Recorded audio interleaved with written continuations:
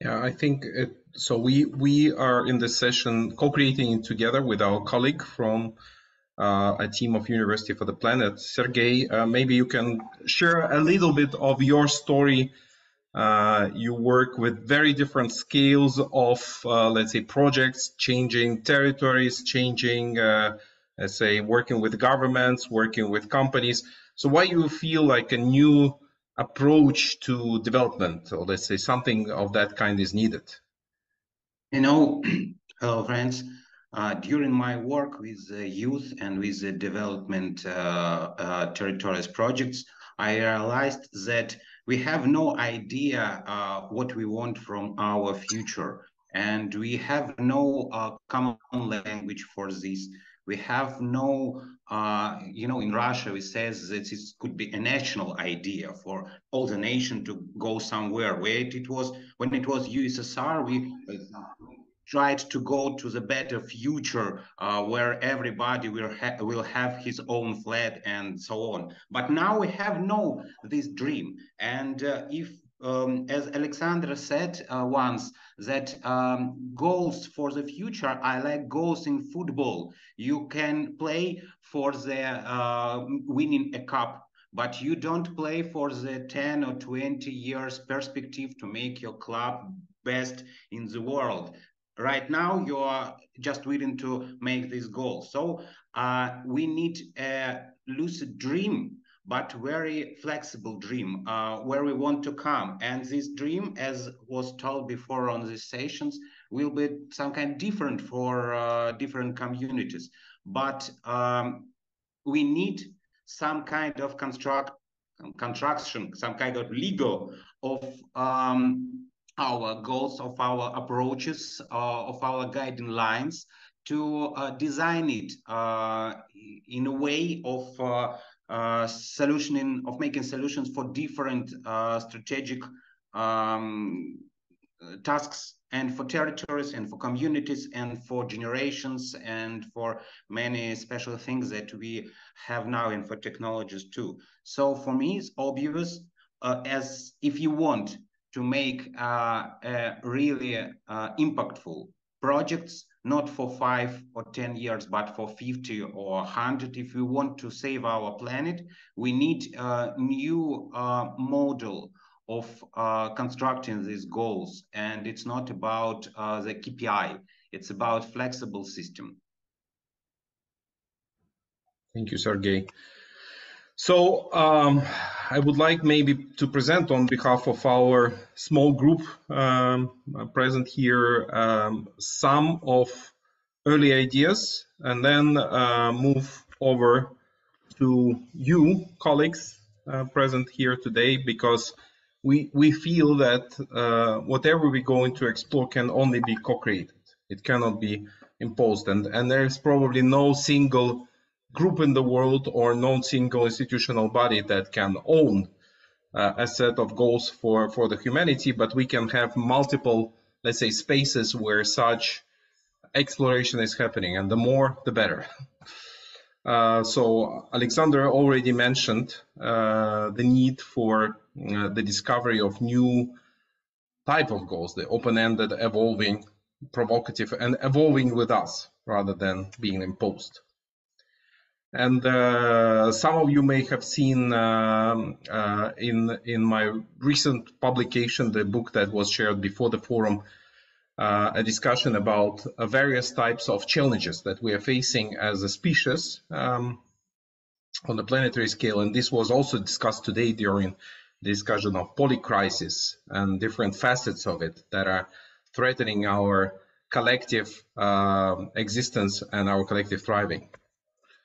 Um, the perspective that was brought today by uh, several speakers uh, from the first session uh, to uh, the presentation uh, where Jeremy Lent was discussing about the prospects of e ecological civilization. So I think many people uh, through, throughout the day shared this dream, the possible dream of us flourishing with the earth.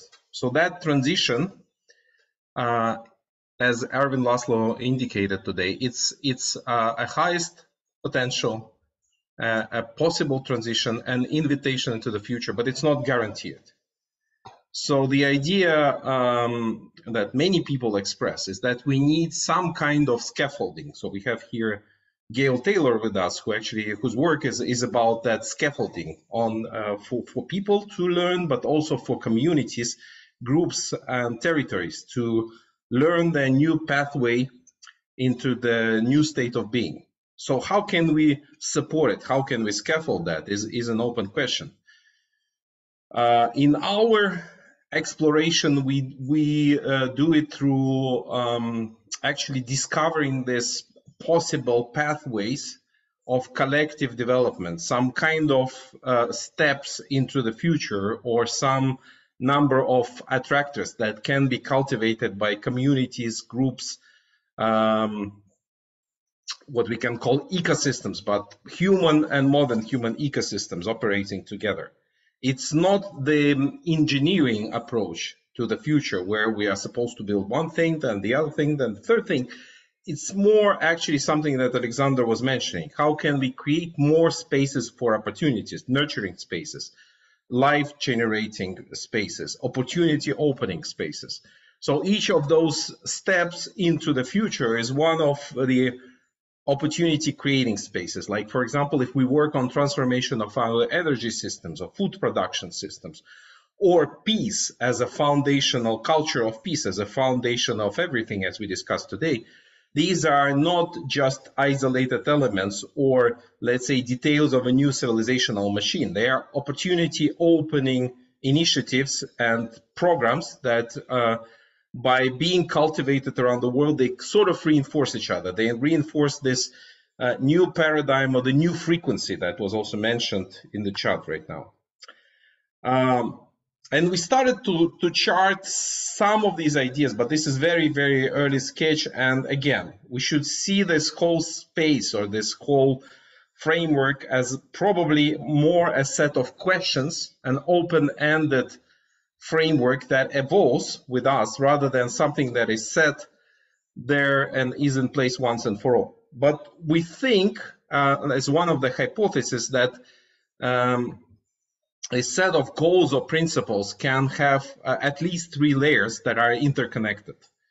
The layer that kind of captures these um, um, ultimate conditions of our uh, survival and, and, thriving, which are um, partially captured by this work that uh, Kate Raworth and uh, the group of Stockholm Resilience Institute are doing around uh, planetary boundaries, uh, safe operation space of humanity, and so on. So these are what we can call existential boundaries. They should not only include um, our relationship with the planet, which of course is broken, and needs to be healed, but also relationship between ourselves. The problem that we cannot have World War III because that, as Einstein pointed out many decades ago, will be our last war. And we cannot also afford um, evolving our technologies without having concern what, what, what, what will be the outcome of using this technology. So recognizing that there are many commons that are not used adequately, that we need to co-own critical technologies for the humanity. There was the discussion between Jeremy and Ruslan today about it. All of these are elements of, of that possible future that we may want to step into, and that which is, again, life, uh, embracing life opening. That's the ultimate goals. That's like uh, external boundary. Uh, then the, the, on the other hand, that is only possible if we evolve ourselves. So that's the dimension of inner development goals that was mentioned today by Alexander, and that's the work that is done by uh, a number. There, there is a core group supported by Tomas Björkman and of other, a number of other people. But that has to be taken in connection with other dimensions. They're both internal and external. And, and so the connecting layer is actually something similar to sustainable development goals. It relates to our highest aspirations of what we can achieve as human beings within that space of relationship with, with modern human nature and our inner nature. So that societal development goals layer is perhaps the third one. So this is, let's say, an early hypothesis about what could be done or could be framed. And how it should be framed. What are the key principles that we need to follow in designing such goals? What are the questions that we need to recognize? And how we can specifically organize these goals and uh, what types of goals can we construct? Is it should we call it goals? Continue calling it probably only for sake of kind of juxtaposing it to uh, sustainable development goals, perhaps, but we probably mean here something different, and that is something to be explored together. And maybe last thing uh, I would like to say before turning to um, into you, dear colleagues, everyone who is present here now, is that right now we are presenting this approach, this vision as something that is just very sketchy first uh, assumptions.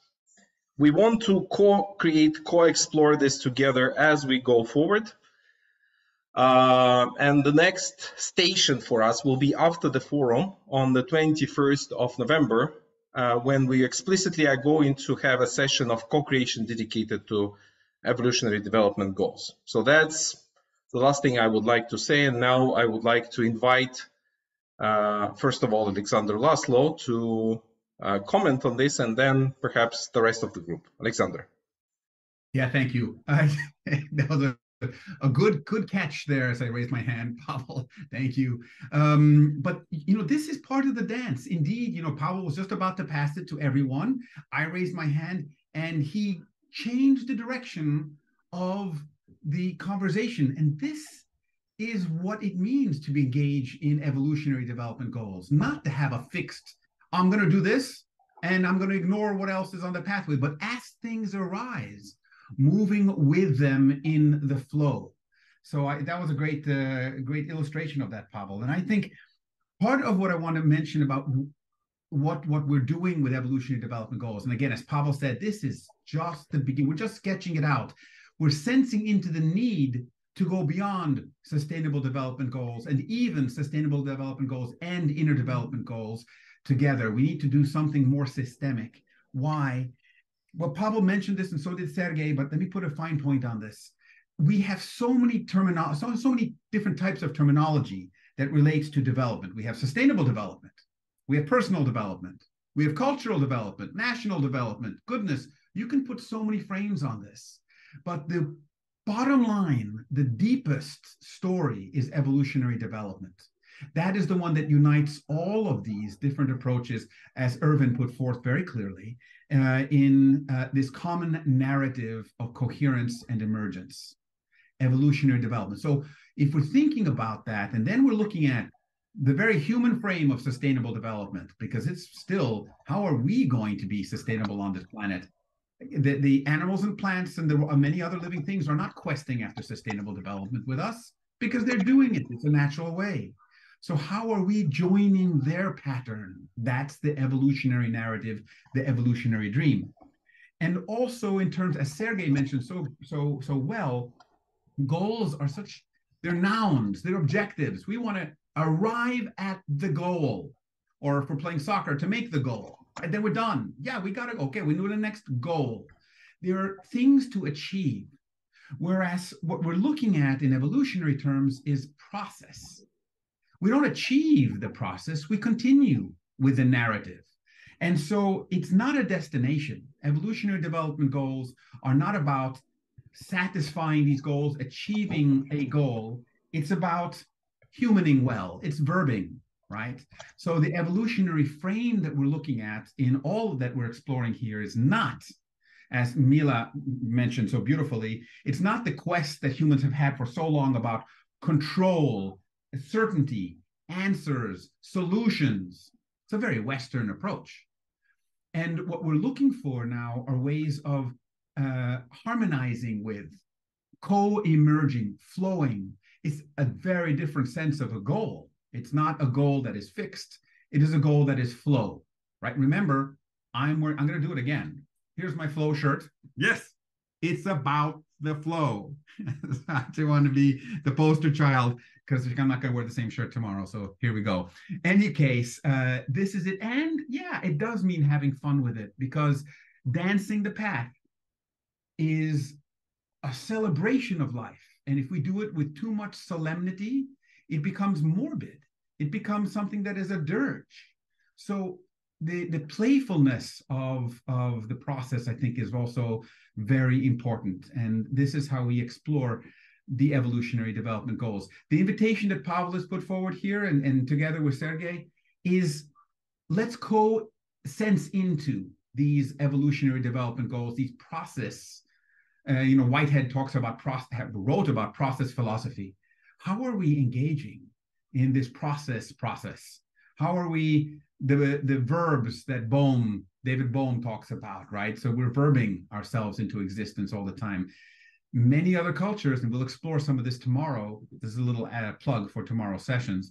We'll explore how the non-Western frames of looking at things can help us uh, engage in uh, evolutionary development goals. And even here, the term goal is kind of in quotation marks, and all of these are uh, engaging in a common narrative, and is truly that narrative of empathy and of co-creation. Hey, sorry for the lengthy part there, Pavel, but I did want to get that uh, that framing in. Thank you.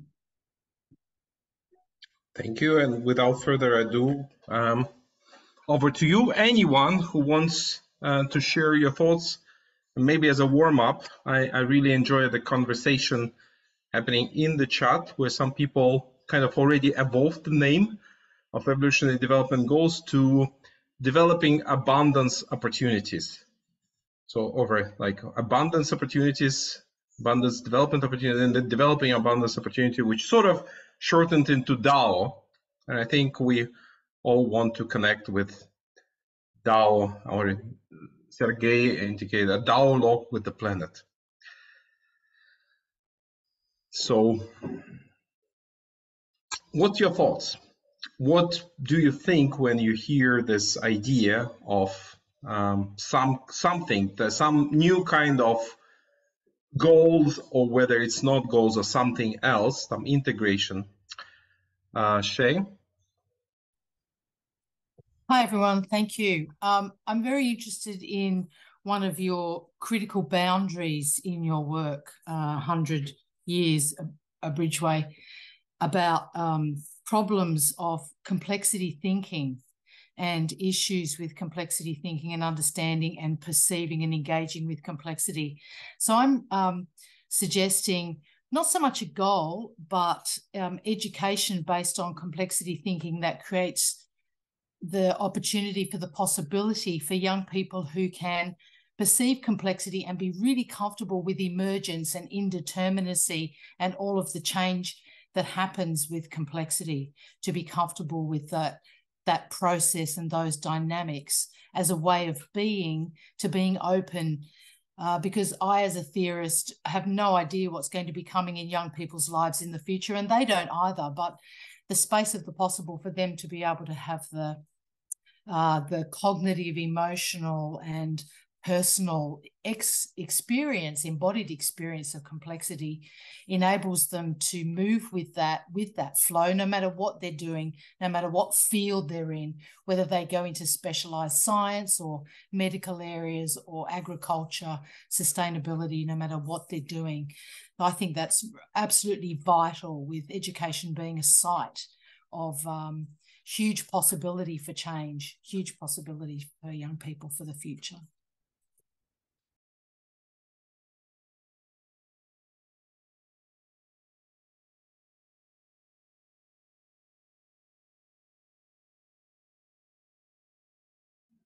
Thank you, Shay. Um,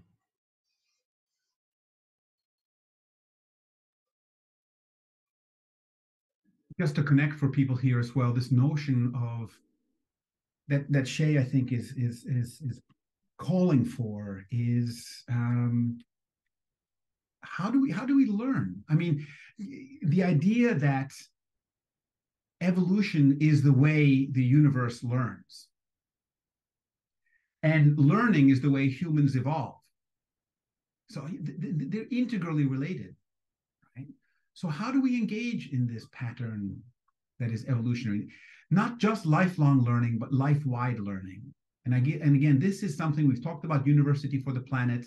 This is a key component of what we're looking to develop through the evolutionary development goals and then this kind of life-wide, lifelong learning with all of life, not just humans, right? But with all things that can create a thrivable, flourishing world like Jeremy Lent was talking about, the ecos, uh, ecological civilization. Um, so thank you, Shay, because because education is, oof, but formal and informal education, I think this is exactly what we're talking. And of course, Western and non-Western education, so much to learn. Thank you. Massimo? Yeah, Welcome.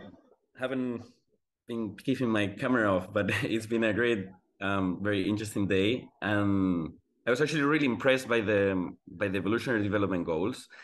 But I did want to raise a point because, for example, when I was looking at the um, today, like these three days um, of events, and which are very holistic in all the different perspectives. But something that I'm actually working on currently, and I, I was missing from the sessions, was what is the role of the public sector in all of this, right? Because we've, been talking about many different perspectives, and I'm, for example, I'm a fan of um, Mariana Mazzucato and you know mission-oriented policymaking and the fact that you know we've been living for far too long for the market to solve things we know that doesn't work i know that in this community we love um you know grassroots movements and i do think that grassroots organizations are the sorts of um you know initiatives that we many of us are part of um, do are pioneers that do lead the way in showing what's possible, right? Like what we're doing here, imagining what's possible. But at certain point we need you know those taxes we need you know we need so i mean that's a reflection right that i would love us also to have and how do they you know how can we maybe you know embed some of these evolutionary development goals in some of the you know policy agendas maybe you know how can that happen you know that'd be definitely a reflection i'd love to have at some point um, um Thank you, Massimo, for bringing this up. And I think that directly connects also to presentation that Mila earlier did today, the opportunity that lies with governments that are ready to evolve and hold the bridge, so to say. Um, in in my book, which I mentioned already today as well, uh, I'm talking about the role of bridge builders. So the bridge is something that connects the present reality and that emerging attractor that uh, Ervin uh, and Jeremy were talking about today. But how to move there, how to get there? It's uh, it's it's a cultural shift. It cannot be accomplished by hierarchical structures. It cannot be done by uh, corporations. It needs everybody's involvement. But somebody has to hold the space for that involvement involvement to happen. And and uh, um, and kind of carry people across or create conditions that they move across. And that can be the role of those bridge builders, which are necessarily those who connect with the public sector. It cannot be private players. It can only be um, those who are in touch with commons. So Mila, maybe I could put a little bit of spotlight on you when uh, uh, asking what what's your thinking about it? What what do you think when you think about the potential? I agree with you 100%. Yeah. It's the commons because, and look, out of it should come out the vibrant private life of creating businesses, opportunities, communities, uh, schools, uh, you know, um, in other words, alternatives and choices for the people, but out of the commons that what we need to tend to. Because if you look at, for example, historically, and I'll reflect on the technology that I talked about earlier, um, say um, World Wide Web and Internet, it was all publicly funded. I'm just talking US, publicly funded up until the point it was scaled. The minute it was scaled, it was privatized, co-opted. I mean, I can freely say that. And then look, um, we continue the fight. You can say it's a nice evolutionary spin. but the problem here is not the fact that we have contrast. that something is producing contrast, that we have some kind of injustice, so you have to write it and fight for your rights. I mean, it, it keeps the evolutionary wheel spinning, but it's generating conflict. That's where the problem is. It's generating disparity, inequality, poverty, conflict, us going at each other's throats, pitching us into conflict and pitching us against each other, the very same invention that we funded we are um, it's it's disowned. We are disowned from it, or um, estranged, or alienated, or removed from it, and then we take it for granted. And we're talking only internet, but it's always been like that. And not to mention the fact that you know the movie Oppenheimer brought that to the center. Most of the research has been, you know, um, also coming for the, the motivation and the funding comes from military interests. So you have a straight on biosocial conflict that all of our systems, even our psychology, is based on. This is why we mention transactional economy. This is why we speak about extraction, exploitation of one gender over another, one demographic over another, region, country.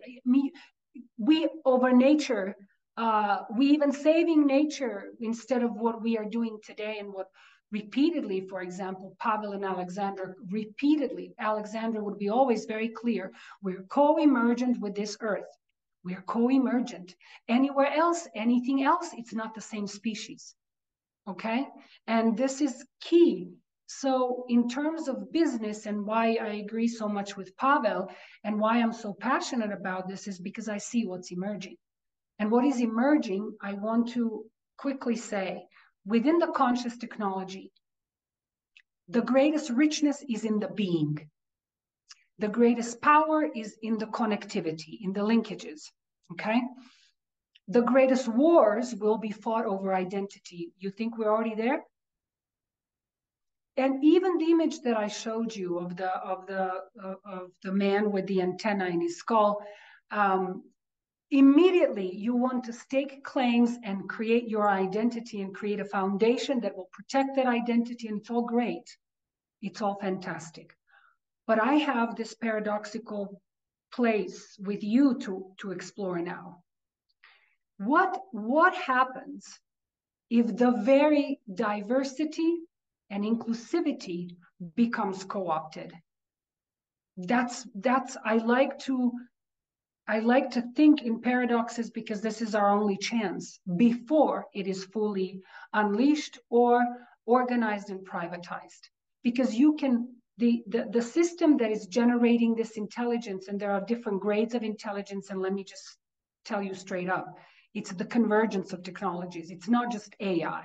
It's, you know, narrow AI, generative AI, super intelligence, and it all hinges on the level and the threshold when AI starts asking its own questions and setting its own goals. Make sense? That's the threshold. And yeah, it's not, you. you know, just something, some external force. It will be not even a device. All of this knowledge, all of our collective ingenuity will be harnessed into not a device, an organism the size of one blood cell. You will not know who you're talking to. So it's not a machine. It's augmented, superhuman, transhuman. But are we going to be extra humane in that transhuman? That's the point, and that's what Pavel was talking about. You're pouring new technology into an old molding, old marketing system, old military system, old money system, old market system, and old mindset system. This is the where the disparity lies. And this is the chance is to explore these difficult questions. Um, very difficult questions, but we are the ones deciding. And this was one of the reasons why I put myself, um, frankly, when I was approached by government to do this work, I was very leery, I'll be honest with you. Um, and they waited for five months uh, for my decision. And after asking many lucid questions to see if this is genuine, Uh, and once I got that genuine feedback face to face with conversations with people, I said, okay, now I can get to work. And believe me, um, most of the time one feels like a lonely voice in the wilderness until something shows up and the children are showing up. But that's the second coming. Can um, I build on, on something you said, if I may, Pavel, also? Um, yes. So, Massimo, just to kind of set up the scene, we are approaching the end of the session because we agreed that it will only run for 45 minutes. I know that we will not cover just with scratching the surface. I know that you want to say something and Peter want to say something. So please go ahead and then we'll give word to Peter and then we are going to wrap it up. Please. Yeah, no, just just to you know get back to her to that diversity you know how do we align in that diversity which i think is great and i mentioned that work of the mission oriented policymaking which i think is a great aligner. You know mila you mentioned how the internet was created. That was right in the in the um in the mission of going to the moon right? So it was like we had that mission and then lots of things happen around that mission. So i wonder to bring it back to you and the evolutionary development goals and how to operationalize this that could be my um, challenge to you or to us. Like can we can we make a mission? Can these be missions right? And because for example i'm i'm currently facilitating a, um, a european consortium called net zero cities. So for those of you that, that, that don't know, in the European Union has now some interesting missions, like let's decarbonize 100 cities for 2030. Now, are we going to make it or not? We don't know, but at least we have a mission, right, that requires everybody, right? Requires to align private sector, public sector funds, etc. We need to be smart, creative, but we have a goal. So now with the evolutionary development goals, you have created that vision, right? We need those learning ecosystems, or we need to avoid um, certain catastrophes the question for me always is like how do we turn this into a roadmap right that actually aligns people in a you know in a practical procedural way so that would be anyway that would be my reflection let's turn this into something that can actually be a consortium and let's work towards these things as as a humanity maybe that's the new un that we need and i don't know just leaving it out there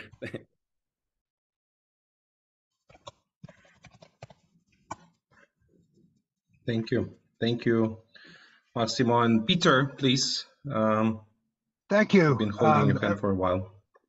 Thank you, everybody. I'm, I'm in my car in an aerospace institute about to take a biomimicry course, having delayed my participation in Jeremy Lent's deep transformation course through Gaia University. I say that only because I'm a intergenerative transdisciplinary diviner and activist and academic, and I know mainly in this conversation um, Alexander. My points. Uh, first, children, Mia. Yes, this is um, an issue where I think whatever processes, and it is processes and it is verbs, we need to make this an intergenerative, intergenerational issue. We have to extend our sense of time by making sure we are inclusive to celebrate the diversity of, of people across age. In that space, playing, to, to echo that verb, is absolutely key. Adults can be far too serious. Kids and grandparents, I know I am one, get together, they play, they think creatively. So the, these these Evo Devo, may I call them that? That that's a, that's a challenge to you. Goals need to reflect um, the play aspect has already been said by other people. And finally, as the founder of intergenerational schools, I absolutely believe that learning is key. Learning should be playful. We have squeezed the juice and the passion and the purpose out of education. And if we can't recapture that aspect of being human, I'll say something risque. You know, the biological process of procreation is thought by most to be pleasurable somehow learning as a cultural vehicle for change ought to be as pleasurable in that space as perhaps the creation of new children. So playing, learning, intergenerational, that's my contribution to add and to emphasize the wonderful thoughts I've been hearing uh, at this conference so far. Thank you for giving me the time. Fantastic. Thank you, Peter. I like I like this very inspirational uh, image of uh, a joy we extract from uh, learning together. And I hope um, as we approach the end of this session, that will be the case in our next two days and the journey we're going hopefully to take together. So thank you very much. Um, thank you. It's been a very rich, uh, intense day and many of you stayed here non-stop. So I believe now you need a good rest. Thank you uh, for this first day we began. I have mentioned that this uh, space we are creating here is really just the beginning of, of that journey. Uh, there will be two more days of conversations happening, but we are not only for conversations, we are here for action, we are for collaboration, we are for practical work, which begins nevertheless with conversations. So that's the start of it, but then has to move further. And thank you, Maximo, for bringing up the idea of consortium. Let's explore that. Uh, and um, in uh, again, as a kind of next point on our map, in uh, one month from now, we are going to hold explicitly a co-creation session around evolutionary development goals, where we hope to see uh, many of you joining.